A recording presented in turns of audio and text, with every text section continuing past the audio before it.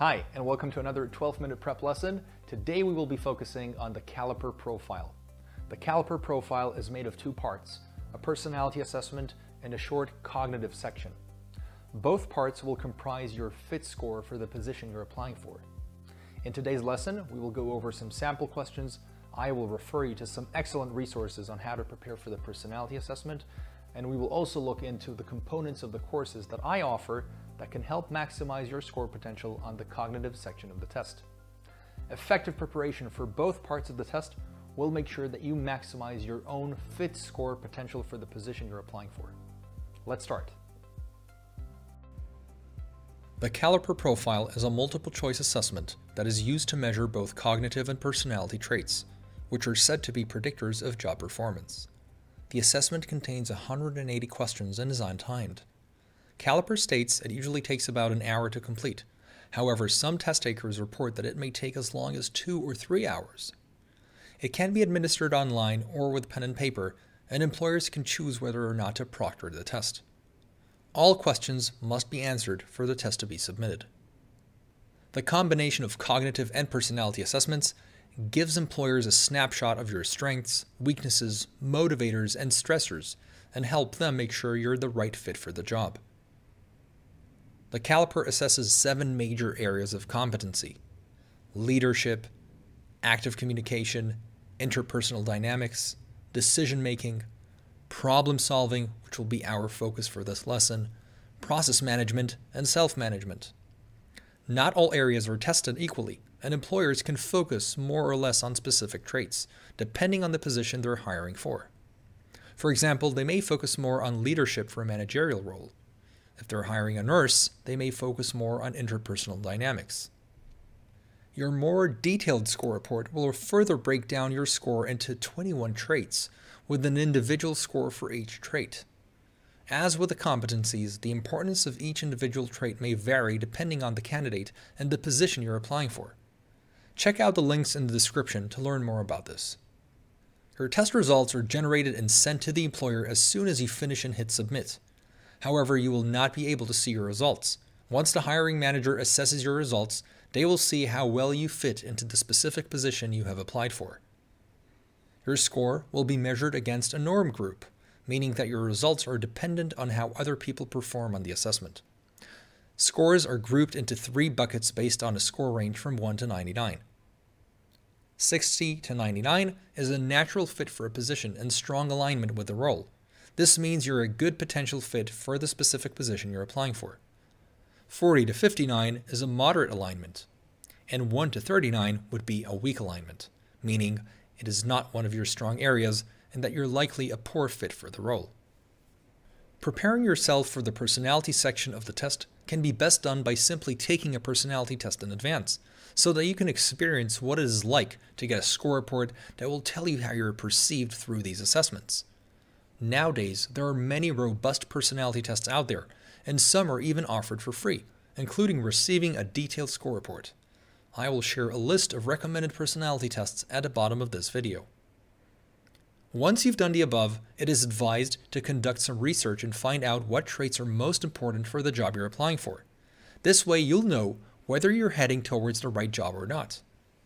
Now let's get back to the cognitive section of the test as I believe it is where you could improve the most. The abstract reasoning trait in the caliper test is defined as the potential to solve problems and understand the logical relationships among concepts. People who show a high level of abstract reasoning ability should be capable of understanding complex issues. Individuals with low levels tend to be most effective when handling issues that have straightforward solutions. The cognitive section is broken into two main parts abstract reasoning, and numerical reasoning. Abstract reasoning questions will assess your ability to visualize and sort shapes, as well as your ability to understand patterns. Question types include figural analogies. These questions will present you with an analogy of two figures and then a third figure. You'll need to figure out what comes next in the analogy. Figural series. These questions will present you with a sequence of figures and shapes, with one space left blank you will have to choose which shape or figure fits into that blank space. Figural matrices. these questions will present you with a 3x3 set of 9 squares with shapes and figures in 8 of the boxes. You will have to figure out the pattern to determine what the missing shape or figure will be to complete the matrix. Let's take a look at a sample question. Take 45 seconds starting now.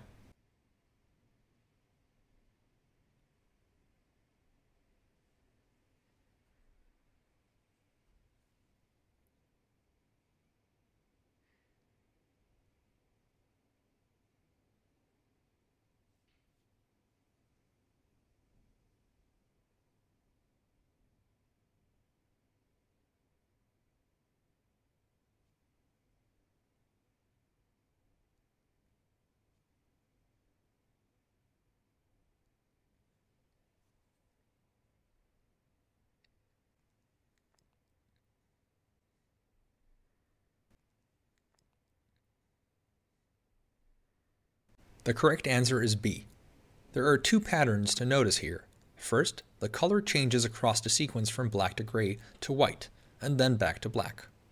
This means the missing shape will likely continue this pattern and be gray. Second, there is an alternating pattern in the even and odd frames, with the odd frames containing a large left pointing arrow and the even frames containing a smaller right pointing arrow. By this logic, the missing frame will continue the pattern in the odd frames, meaning it will be a large left-pointing arrow. This makes B the correct answer. The numerical reasoning section contains only one question type, number series. These questions will present you with a series of numbers and you will have to determine what number completes the sequence. Pattern difficulty ranges from very simple to incredibly complicated. Let's take a look at a sample question. Take 45 seconds starting now.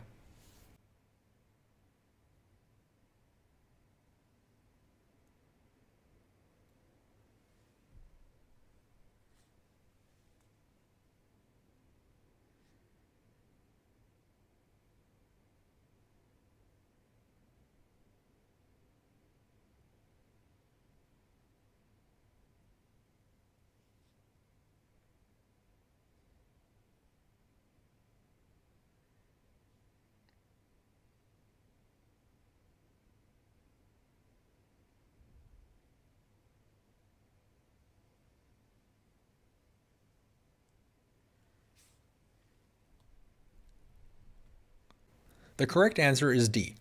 Take a look at the difference from one number to the next. Plus 1, plus 4, plus 9, and plus 16. These are perfect squares. 1 squared, 2 squared, 3 squared, and 4 squared. This means the next number should add 5 squared, which is 25. 42 plus 25 gives us 67, making D the correct answer. I cannot stress enough the importance of preparing for this test. Maximizing your score on the cognitive section is possible, and preparation is scientifically proven to do so. Countless examples show that with a moderate amount of preparation, you can drastically improve your score. Even improving your score by a few points can make a huge difference in your percentile ranking and get you closer to your required fit score. For example, imagine John's starting point prior to practice is a score in the 50th percentile. Completing a course with a thorough review of each question type, teaching him how to shortcut his response times and spot the traps more easily with practice examples, can lead to answering a few more questions correctly. Surprisingly, these few additional correct answers can boost him all the way up to the 75th percentile. That is, with the help of preparation, John got past 25% of the population of candidates and this is just a modest success story on my website. Even if we take a much more modest scenario, there's absolutely no advantage to running into this test unprepared. The better you perform, the closer you'll get to Caliper's fit score that was set for your job. You can start out by taking my free introduction prep course on my website. This course has helped over 80,000 candidates to date. It is listed as a recommended resource among recruiters and HR teams. There is also the option of taking my paid prep course, which was created specifically for the caliper. You will get a 360 preparation experience, lessons for each question type, summary quizzes plus explanations, and solving tips to reduce response times, score reports to identify your strengths and weaknesses, test taking and time management strategies, and the option to have a one on one coaching session with a test expert who will help you maximize your own score potential. Start maximizing your score potential with 12 minute prep today.